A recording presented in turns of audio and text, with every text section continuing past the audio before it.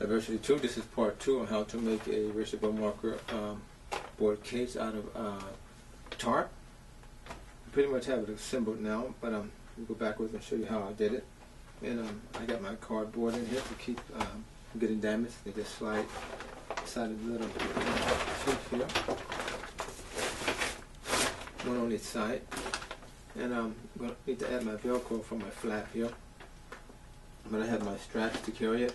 I have two large straps and one center strap for an individual to carry. So um, this is it, the recipe to uh, how to make the erasable marker board or a marker board uh, carrying case out of here. This one is six inches longer. Hmm. I'll go over. I think we can go six inches and fold also. Let's see, six. We'll go six inches over. Then we'll have a line to work with.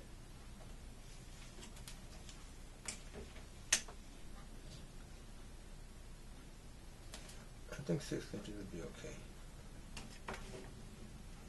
Six inches wide. We stick with that. Just follow this line all the way down.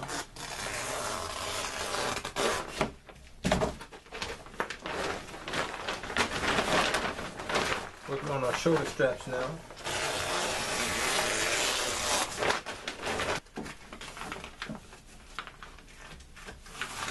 Got it folded in half.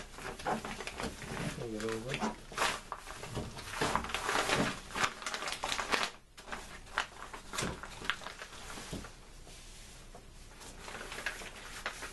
Gotta be thick enough, nicely. So, I'm gonna fold it in half, like that.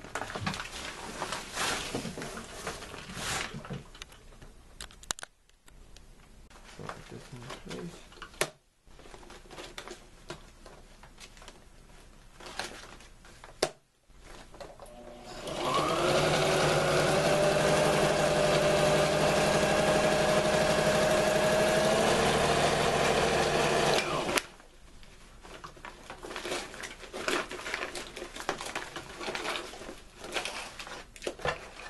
Need to push it through. Try this again.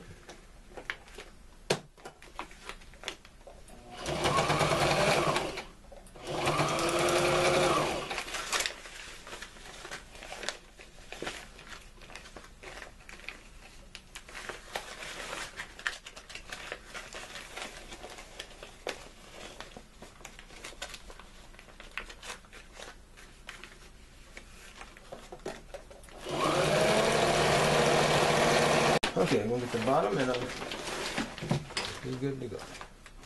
Just gonna get the bottom here. Slide it in. Watch out for anything. Put a hole in my needle.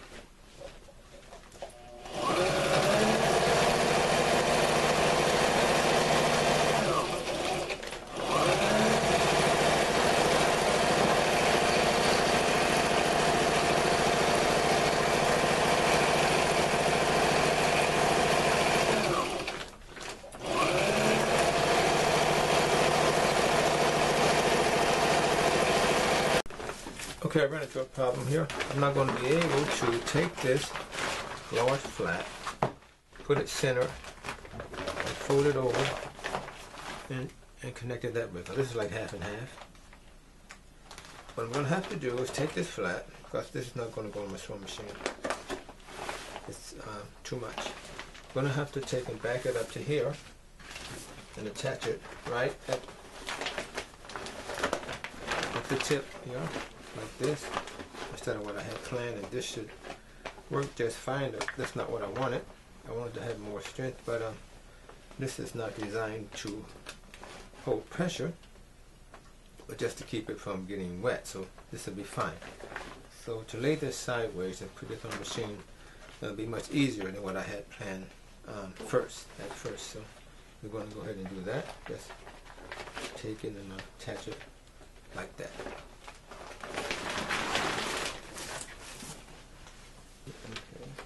Okay, I think that's fine.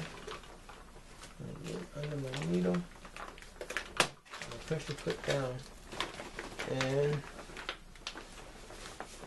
get my paddle over here. And let's go.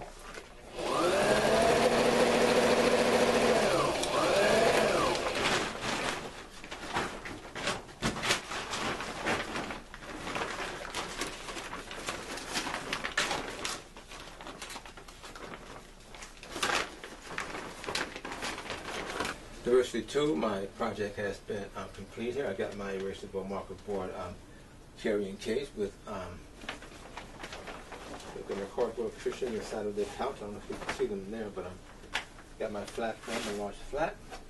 And I had my all of my straps made here. This strap here, let me, what I did was all of this is out of um, tarp, a gray tarp.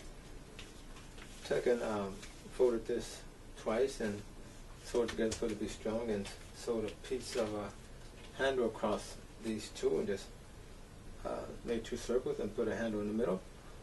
The um, whole board, if one person is going to carry this, these straps will slide straight across here, real easy, and you can manage this um, board on your own with these straps here. The larger straps, I just use one. They're really um, tall. Two people can, if two people are going to carry this board, they would just slide over the board and uh, you can carry it on your shoulder, and the board will be mounted in the middle, a person in the front. In the rear, you can easily um, maneuver and handle this board. So I have my two straps here. I reinforce them. So this is my um, versatile marker board um, carrying case. Um, waterproof. Gotta make sure that all my holes closed up. But there you go. Diversity 2, how to make a erasable marker board or a marker board um, carrying case out of um, tarp. There you go. Diversity 2. Nice and strong.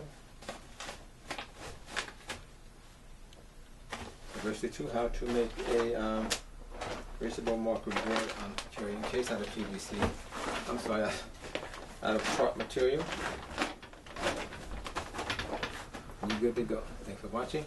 Don't forget to subscribe.